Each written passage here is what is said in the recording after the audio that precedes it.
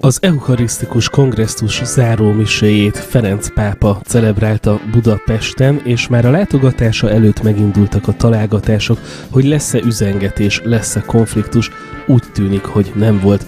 A témában Szomráki Béla egyetemi docens újságírót, a mindenkori pápa tolmácsát fogom kérdezni, itt van velünk a vonalban. Jó napot kívánok, köszönjük, hogy fogadja a hívásunkat. Jó napot kívánok, szeretettel üdvözlöm a nézőket, hallgatókat. Kezdjük az elején. Mit jelent az, hogy valaki a mindenkori pápa tolmácsa? Hát az az igazság, hogy ez azért nem egészen így van, pontosabban egyáltalán nincs így. Inkább arról van szó, és a mindenkorit itt is ebben az esetben is megkérdezném, hogy az utóbbi 30 évben a mindenkori magyar államelnök és miniszterelnök tolmácsa voltam, bármilyen politikai színezetű is lett légyen, vagy volt a, a miniszterelnök, vagy azok a miniszterek, akiket volt szerencsém elkísérni a Vatikánba, ami igen számos alkalommal történt meg, úgyhogy tolmácsoltam valóban, a pápáknak tolmácsoltam elég sokszor, azt hiszem 25 alkalommal második János pápának, részt vettem Benedek pápa által tartott fogadáson is, és tolmácsoltam Ferenc pápának is, de én soha nem a pápa tolmácsa voltam, hanem mindig a magyar közjogi méltóságok tolmácsa, akik segítették ezeket az embereket, ezeket a elnök, miniszterelnököket, államelnököket, vagyis mondjam, csak ilyen apróságokban is, mint az eligazodás az ottani protokollban. Általában akkor olasz nyelven zajlanak ezek a találkozók? Általában olasz nyelven, mert a, a Szentszék hivatalos nyelve a latin mellett az olasz. A pápa természetesen tehet engedményeket akkor, amikor olyan vendéget fogad, aki jól beszél, és főleg jól ért valamelyik közösnek mondható nyelven, esetünkben spanyolul például, bár az is előfordult Ferenc pápával, hogy az olasz úgy beszél, hogy gyakran kever bele spanyol szövegeket, ami számomra szerencsére nem jelentett semmilyen megerőltetést, de inkább az fordul elő például Benedekkel, vagy második János pápával is, az fordult elő gyakrabban, hogy az angolt, vagy a németet választották, vagy esetleg a franciát. Tehát mivel általában a a pápák azok neveltetésüknél, műveltségüknél, elhivatottságuknál fogva poliglották, sok nyelven beszélnek, azért gyakran megteszik ezt az udvörös gesztust is, ha erre szükség van, de azért a legtöbbször a mm, audienciák, a magánkihallgatások nyelve az olasz szokott lenni. Most itt a találkozón milyen nyelven beszéltek egymással a résztvevők? Mindenki az anyanyelvén beszélt, nem én voltam a tolmács, mert mint az előbb mondtam, én a magyar közjogi méltóságok tolmácsa voltam eddig, és gondolom lehet, hogy még a továbbiakban is leszek. Itt tulajdonképpen Ferenc pápa fogadta a három magyar közjogi méltóságot, az államfőt, a miniszterelnököt és a miniszterelnök helyettest, és ő hozta magával a tolmácsot is, ahogy nézd, láttam egy magas embert, aki amennyire kihallottam a beszélgetést, olaszul, olaszra fordította a magyar részvevőknek a kérdéseit, szövegét, az elhangzottakat, illetve hát magyarra. Azt mondta, hogy a pápa fogadta a magyar delegációt. Ez azért érdekes, mert azt gondolnánk, hogy mivel mi vagyunk itthon, a miniszterelnök és a köztársasági elnöknek kéne fogadni a pápát. Hogy van ez? Úgyhogy ez nem egy állami látogatás volt, hanem a pápa a eukarisztikus, nemzetközi eukarisztikus kongresszus zárómisének a celebrálójaként volt tartózkodott itt, és nem a magyar államképviselő fogadták, hanem ő fogadta ezeket a személyiségeket, magyar személyiségeket, éppen egy a Mise helyszínéhez roppant közel lévő szépművészeti múzeumot, egy olyan helyszínen, amiről azt is mondhatnánk, hogy ebben a, abban a pillanatban egyfajta semleges terület volt, de maga a pápa tolmács választása is azt jelentette, azt jelentette számomra, hogy ez bizony ő mondta meg, hogy mikor, kivel, hogyan találkozik, és milyen körülmények között folyjon le ez a találkozás. Mennyire meglepő ez a diplomáciában? Kérdezem ezt azért, mert a látogatást megelőzően ugye először az a hír terjedt el, hogy a pápa nem akar találkozni a magyar vezetőkkel.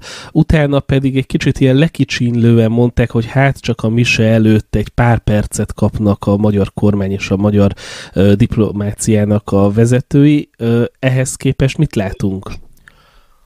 Nos, nem ez a hír terjedt el, hanem ezt a hírt terjesztették szánt szándékkal, orkestrálva egy közös vezénylet alatt megindult az egész nemzetközi liberális fősodor, és még ahogy figyeltem a tegnapi ma reggeli újságokat, portálokat, azt látom, hogy még mindig a mondjuk úgy, hogy a kommunista diktát, diktatúrákon edzett fülek számára meglehetősen nevetségesnek tűnő kétségbe esett erőfeszítéssel próbálják azt bizonygatni, hogy de hát azért igazából, hát igen, végül is fogadta, de hát alig fogadta, és alig volt itt, és csak pár percet, és stb. stb. és különben is és Szlovákiában portál... amúgy is majd három napot lesz, ugye ezt szokták még És majd, majd ott lesz. Hát én szerintem ezek a kedves urak és a karmesterek, karmestereik, azok fordítva ülnek a lovon. Először is az előbbi kérdésére még annyit válaszolnék, hogy mennyire szokásos ez a nemzetközi diplomáciában, vagy a szentszéki diplomáciában. Nos, azért nem igen van erre példa, gyakorlatilag nincs, mert vagy ha van is, az valahol elveszett a múlt ködében, mert valójában a pápák a híresztelésekkel ellentétben nem igen szoktak részt venni az eukarisztikus világkongresszusokon. 140 éves ez a rendezvénysorozat, 1881-ben indult útjára, és az első alkalommal, hogy egy pápa celebrálta a záró szentmisét, általában ezek évente kerültek megrendezésre még a 19. században, meg a 20. század elején.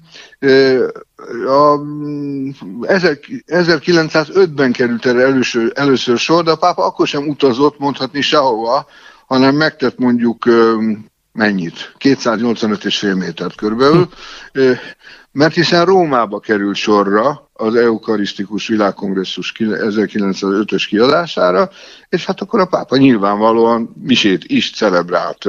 Hát akkor nem volt. evidens az, hogy a pápa ott van, és az misét mondjuk celebrál. Abszolút nem evidens, amikor másodszor fordult az elő, akkor ez megint csak Rómában volt 1922-ben, akkor már az első világháború követő első alkalommal rendezték meg, ezt most már nem évente, csak két évente, és amikor Budapesten tartották a Nemzetközi Világ, a, a Világkongresszusát, az eukarisztikus, eukarisztikus Világkongresszust, nos, 1938-ban akkor sem a pápa jött ide, hanem a 11. Pius, hanem a delegátus, legátus küldött Pacelli Biboro szemébe, akit aztán pápává választottak. Egyébként a 38-as eukarisztikus világkongresszusról azért lenne egy oldalvágásom a Deutsche Welle felé, amelyik nem átollotta azt leírni, a, talán tegnap, hogy ez ugye egy közszolgálati televízió-rádió, nem átalotta azt leírni, hogy hát a 38-as magyar rendezésű eukarisztikus világkongresszus amelynek egy ilyen nagyon túlzó ismétlése volt a mostani, hiszen teljesen felesleges hét napot, stb. stb. Megegyezte, hogy tulajdonképpen akkor rendezték ezt meg, és úgy rendezték meg, hogy itt volt nagyon is a hitleri ö, ö, ízek közöntek vissza, stb. stb. Na most a roppant ö, objektivitás jegyében a Deutsche Welle csak egy dologról feledkezett meg, most független attól, hogy ez egy, egy nagyon sötét és mondhatnám nagyon gonosz insinuáció, rögtön azonnal a fasizmusra, pontosabban a nácizmusra asszociálni egy eukarisztikus világkongresszus. Tehát az, az ízlésnek az abszolút hiányáról tanúskodik, egy ilyen nagyon erősen, hogy is mondjam csak, szóval a, túlzó, a németesen túlzó dolog ez. Csak egy dologról feledkezik meg, arról, hogy Hitler megtiltotta a német katolikus egyháznak, hogy részt vegyen Vagyis az eukarisztikus világkongresszus Budapesten pont egyfajta szembenállásként is szerepelt a hitleri ideológiával kapcsolatban. Úgyhogy az eukarisztikus világkongresszus az égvilágon semmi baj nem volt 1938-ban, mint ahogy most sem volt. Ez a kétségbeesett erőfeszítés, ahogy próbálják levenni a dolog fontosságát. Én azt mondanám, hogy bizonyos értelemben valóban nem mondom, hogy történelmi fontosságú, de Magyarország és a Szentszék viszonyában igenis egy nagyon jelentős fejezet az, hogy a pápa ide látogatott. Igen, hat órára jött. De a pápanak, mint ahogy az előbb elmondtam, nem volt kötelesség nem volt kötelessége, morális kötelessége egyáltalán. A második világháború után 1952 óta már csak négy évente rendezik meg, és a, e, a, az azóta eltelt időben pápa mindösszesen, ha jól számolom, hat alkalommal vett részt a kongresszus, az eukarisztikus kongresszusoknak a zárómiséjén. Kettőn hatodik pálpápa, 64-ben és 60 8-ban, még az első Bombayben, ami részt vesz 6. pápápa, az tulajdonképpen még a boldogságos emlékezetű fantasztikusan jóságosként megmaradt az emberek emlékezetében, a jó pápaként megmaradt 23.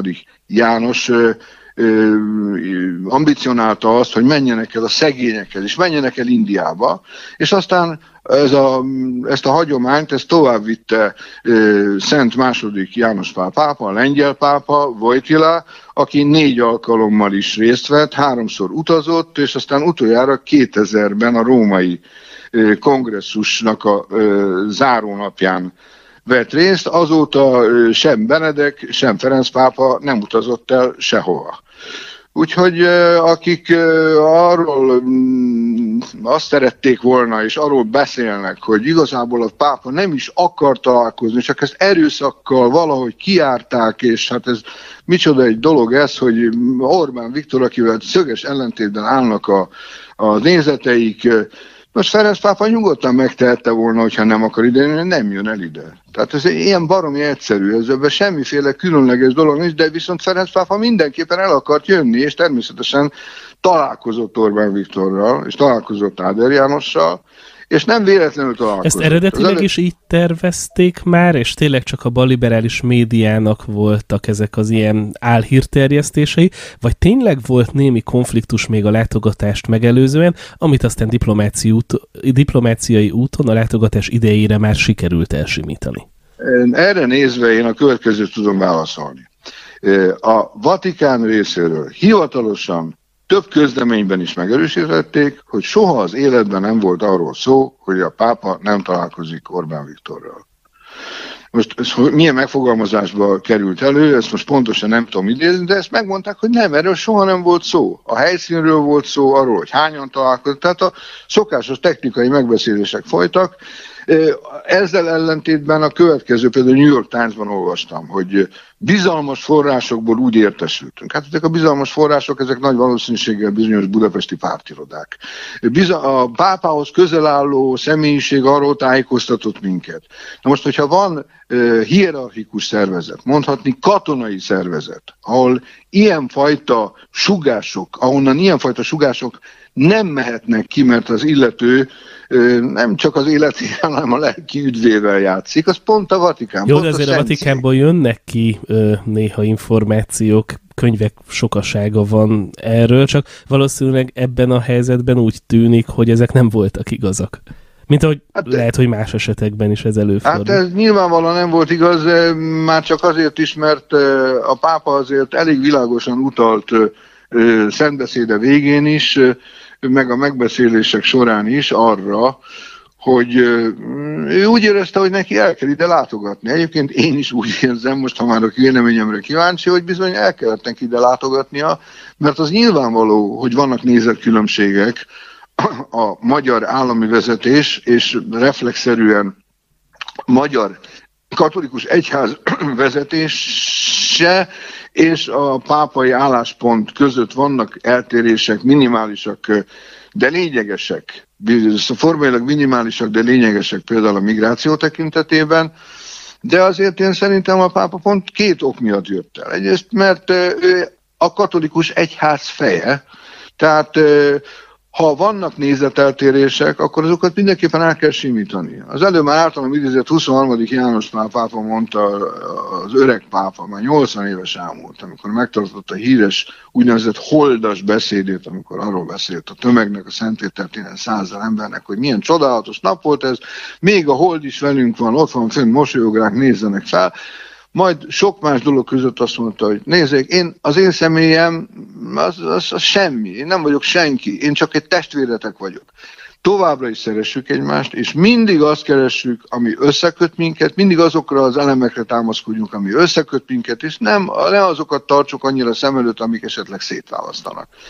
Szerintem ez egy fantasztikus gesztus volt a pápa részéről, hogy noha ő menekült kérdésnek látja azt, amit most már egyre több európai állam, de Magyarország és Lengyelország mindenképpen, a v mindenképpen egy nem migrációs, hanem migráltatási kérdésnek látnak, azért együtt lehet működni, az egyházat a magyar állam támogatja, minden pontjában tiszteletben tartja azt az 1997-es megállapodást, amit még a magyar állam nevében Horn Gyula írt alá a Vatikánban.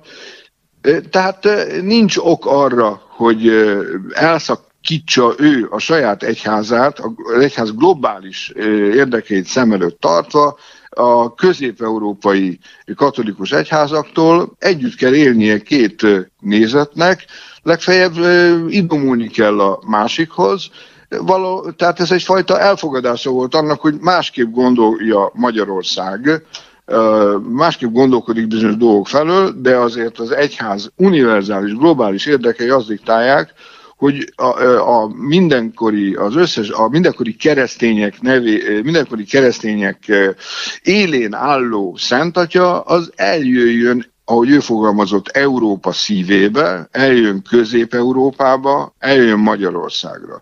Egyébként, hogy ez mennyire így van, az azt is bizonyít, Ja, szerintem, és nem a hat órákról van a vita, hanem úgy a Szlovákiában megy, meg szintén V4-es ország, ugyanaz a véleménye a migrációról, ugyanúgy közép-európai ország, Magyarország, legfeljebb a pápa nem teszi ki magát a ö, liberális média dühének ö, olyan fokozottan, mint amikor most a Orbánnal való találkozása kapcsán kénytelen, kelletlen elismerik, hogy végül is találkoztak.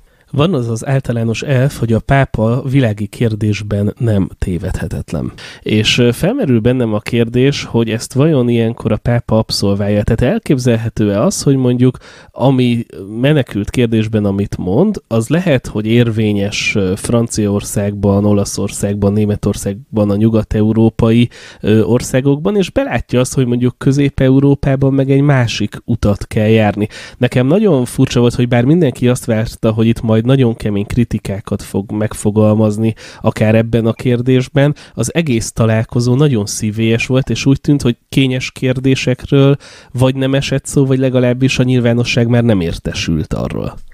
Én szerintem egyetlen, ha úgy tetszik, kényes, fordítottan kényes mondat, az a magyar miniszterelnöki volt ezen a nem audiencián, nem magán beszélgetés volt, hiszen itt azért nem a pápa és a magyar legfőbb közjogi méltóság, vagy a második vett részt, hanem három ember itt, három ember ott. Az egyetlen, ha úgy tetszik, kényes mondatot Orbán Viktor mondta ki, aki azt mondta, hogy arra kértem őszentségét, hogy óvja meg, segítsen megmaradni a keresztény Magyarországnak. Meg, Ez kényes segítsen. mondat? Hát ez eh, nyilvánvaló felszólítás volt arra az Isten szerelmére. Hát ne folytassa azt a munkát, kérem szépen, hogy ránk szabadítja eh, egy harmadik világban egy teljesen más kultúrájú, semmiképpen nem eh, keresztény, mi több a keresztény vallással, a keresztény értékekkel nem igen összeegyeztethető értékeket valló, nagyon militáns vallás híveit, Úgyhogy ha a pápa érteni akarja, akkor nyilván megérti, és ez egyfajta nagyon, hogy is mondjam csak, lehet, hogy kényesnek tűnik, de nagyon pontosan megfogalmazott kérés. Nem felszólítás, kérés. Tehát ezt neki, mint, mint egy, a, a világ legnagyobb egyháza vezetőjének ezt azért valamilyen szinten illik figyelembe venni. Elutasíthatja, de hát azért valljuk be, hogy a saját maga egyház alatt is vágja a fát akkor egy Pontifex Maximus, egy jó, hogy a neve is ugye a pápának az, hogy Pontifex Maximus, a legnagyobb hídverő, híd csináló, Pontifex, ugye? De hát azért e, a, hidat lehet építeni, hogy Lánchídra vonatkozott. A Lánchíd milyen szépen ugye összeegyezteti a Budát Pestel, ugyanúgy a katolikusokat az zsidósággal, de e, össze nem elegyíti őket, mondta ő. Na de hát ő most akarva akaratlan, bizonyos tételek mentén, mintha elfogadná azt, hogy igenis össze lehet elegyíteni a muszlimokat a keresztényekkel. Hát be kell látni, hogy nem nagyon lehet összeelegyíteni, legalábbis a egyre inkább történelminek mondható tapasztalat az, hogy nem. Egyébként van még egy pont, amit szeretnék hangsúlyozni, most úgy, ahogy erről beszéltem, megbocsátja, hogy folytatom hogy a gondolatot? Nyugodtan. Nagyon leszek. Szóval azt mondják, hogy, hogy a pápa az teljesen liberális. Hát most lehet, hogy a, a migráció kérdésében, amit mi leginkább migráltatásnak látunk, ő pedig leginkább menekültügynek gondol, és hát nem is nagyon tehet mást, mert hiszen az egyháznak a, a szerepe abban van, hogy a kitaszítottakat, a szegényeket, a stb. az emargináltakat, azokat felkarolja, segíti, ételt ad neki, stb. stb. Ezek mind-mind nagyon bonyolult, komplex dolgok, de azért közel sem ilyen liberális, ha úgy tetszik, vagy nem, ahogy vagy hogy a liberális mainstream ezt taglalja, közel sem ilyen, nem hogy nem liberális, hanem abszolút ellenkező állásponton áll például a család kérdésében, ahol bizony a családot tartja a társadalom alapjának, és a férfit férfinak tartja, és a nőt nőnek tartja. A, Leti, a Amoris Letizia nevezetű címet viselő legújabb enciklikájában, pontosabban az öt, annak 56-os pontjában szépen el is mondja, hogy itt egy elég komoly támadás zajlik a normalitás ellen, nem ezt a szót használja, de elmondja, hogy hogy a biológiai nem a meghatározó, a szex, a szexus. Míg a társadalmi nem az egy olyan álruha, amelyet fölvéve bizonyos erők meg akarják változtatni a természet rendjét, kvázi Istennek képzelik magukat és ezt elutasítja. Ugyanakkor elutasítja korábban ugye beszélt arról, hogy mondjuk a melegek élettársi kapcsolatát azt viszont támogatná akár öröklés és egyéb okok miatt. Kicsit ellentmondásos nekem ez a rész, bár nagyjából a felé, az álláspont felé hajlok, hogy ő valahogy toleránsan próbál közelíteni az emberek felé, miközben a homoszexualitást azt már jóval keményebb kritikával illeti. Hát az az igazság, hogy mindenféleképpen az, az próbálja fenntartani az egyház jelenlétét a társadalom egészében, én szerintem nagyon sok homoszexuális ember is valhatja magát vallásosnak, éppenséggel katolikusnak. Egyetlen pont van, ahol nem enged az egyház, és ahol Ferenc sem enged ebben a tekintetben, az, hogy nem lehet házasságnak tekinteni egy olyan uniót, egy olyan egységet, amely nem a prokreációra irányul, amely nem a házasság szentségének a keresztény fogalmába nem fér bele. Csak Ugye hogy vannak olyan terem. területek, ahol már ö, viszont a katolikus egyházon belül, akár a pápai tanítással szembe menve megáldanak melegpálotokat, például ugye Németországban, tehát hogy nagyon vékonyá válik ez a ég. Ez valóban így van. Én most nem szeretnék abba belebonyolódni, és magam elképzeléseivel, vagy téves elképzeléseivel traktálni a hallgatót, hogy most akkor melyik a helyes magatartás, mi jó, mi nem jó. Ebben a kérdésben nem akarok állásfoglalni, felőlem a magam részéről minden homoszexuális embert épp úgy tisztelek, mint a a, a, a, a jelentős többséget adó nem homoszexuális embereket, mindenki intézze úgy az életét, de akarja, de azért a homoszexualitás nem követelheti magának szerintem az egyház szentségét. Ebben Tehát maximálisan egy, egyetértünk. Csak, e, erről, erről van szó, és természetesen ezen a vékony égen kell lavírozni a Ferenc pápának, és pontosan az ide jövetele üt pecsétet arra, hogy igenis ő az egyességet keresi. A, a, egyfajta lehetőség szerint bizony a különbözőségeknek az összecsiszolását. Tehát, és egyáltalán a szlovákiai látogatás is mondom ebbe az irányba megy, most oda tud elmenni 34. útján, 35. útján, ha úgy tetszik. Ezt a célt szolgálja, hogy mindenféleképpen, ha úgy tetszik, megtartsa a híveket a nagy közös, a nagy közösségben, a katolikus közösségben, szerte a világon, elsősorban Európában, mert Dél-Amerikában azért nincs nagy bajban a katolicizmus, azért inkább erősödik, vagy legalábbis nagyon jól tartja magát, és Afrikában is jelentős eredményeket ér el, nagyon nagy a hívek száma, függetlenül attól, hogy természetesen még mindig jelentős kisebbségben van az egyéb törzsi és például a muszlim vallással szemben, de mindenképp féleképpen meg akarja erősíteni az európai pozíciókat is, mivel látja, hogy Európában nagyon sok kérdésben sok a egymástól eltérő gondolat, lásd a gender kérdésében, a migráció kérdésében, arra teszi a hangsúlyt, hogy az egység mindennél fontosabb, és az, hogy Magyarországra jött. Még, még egy gondolatot szeretnék felvillantani egy pillanatra, és hogy megemlékezett például Szent István királyról, hát Szent István koronája, ami lehet, hogy nem Szent István koronája volt, mert később született, de ez most teljesen mindegy, az egyik pápától érkezett ez a korona. Nos, ebben a koronában a Zománcba égetett képekben, a koronán szereplő képeken latin és görög feliratok is vannak. Vagyis Magyarország, a Magyar Királyság, a Szent Korona, a Szent Korona, mint tárgy, és a Szent Korona, mint fogalom, mint a Kárpát-medence, az tulajdonképpen egyfajta híd szerepet töltött mindig is be a nyugati vallás és a keleti vallások között, és azt hiszem, hogy erre a gondolatra ütött komoly igazoló pecsétet Ferenc pápa mostani látogatása. És végezetül egy utolsó téma, hogy látja, hogy sikerült a budapesti kongresszus, illetve milyen állapotban vannak jelenleg a hívők, mennyire volt ez katartikus, és mennyire felelt meg az elvárásoknak, vagy a várakozásoknak? Nagyon nehéz erre a kérdésre nekem válaszolni, mert én itt ezen a kongresszuson, mint az előadók szerény szolgája szerepeltem, nagyon sok előadást tolmácsoltam olaszra, illetve magyar nyelvre, tehát a nagy kitekintésem a tolmácsfülkében nem volt, a tolmácsfülkéből nem volt, de nagyon sok emberrel találkoztam a szünetekben.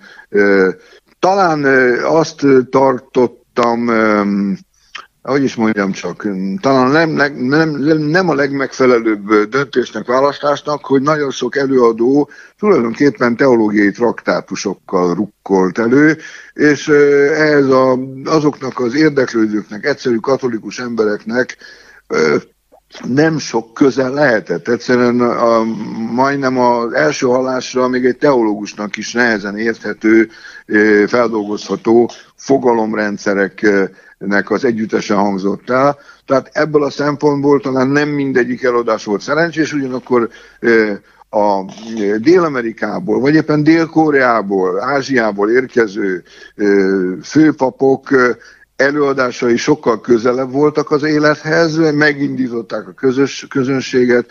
Egyes dél-amerikai, vagy éppen nem mondom a dél-koreai, szőuli az előadására ötször, tízszer annyian voltak kíváncsiak, már-már bőjtett csabai látogatottságot ért el, és azt hiszem, hogy a kongresszus maga is egy komoly élmény volt azok számára, akik vették maguknak a fáradtságot, és kilátogattak rendszeresen. Az egész rendezvény sorozat pedig valóban grandiózus és látványos is volt, és mindenképpen alkalmas volt arra, hogy felhívja a figyelmet az eukarisztia lényegére.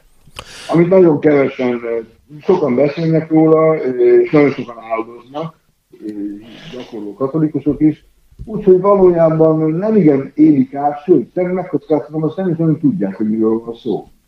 Hát, hogy ez mennyire sikerült, azt én nem tudom megítélni, de én úgy látom, hogy a látogatottsága az egész konferenciás sorozatnak és a záró akkor, de már előtte a, a Kossuth tér rendezett szombati is ezek mind-mind felhívták azért a figyelmet arra, a keresztények figyelmét, de a nem keresztények, a kívülállók, az egyházon kívül figyelmét is arra, hogy itt egy ilyen komoly öm, lelki mozgalomról van szó, ami ha nem is követ mindenki, de az érdemes vele megismerni. Szobráki Béla, nagyon szépen köszönjük, hogy itt volt velünk. Én is köszönöm.